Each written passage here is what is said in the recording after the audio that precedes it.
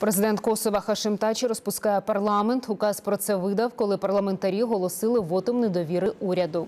78 депутатів проголосували за, 34 проти. Опозиційні партії звинувачують прем'єра Ісу Мустафу і уряд у нестачі робочих місць, провалах в енергетиці та сфері телекомунікацій. Указ набув чинності в момент підписання. Дострокові вибори відбудуться за 30-45 днів. Чергові ж мали бути 2018 року.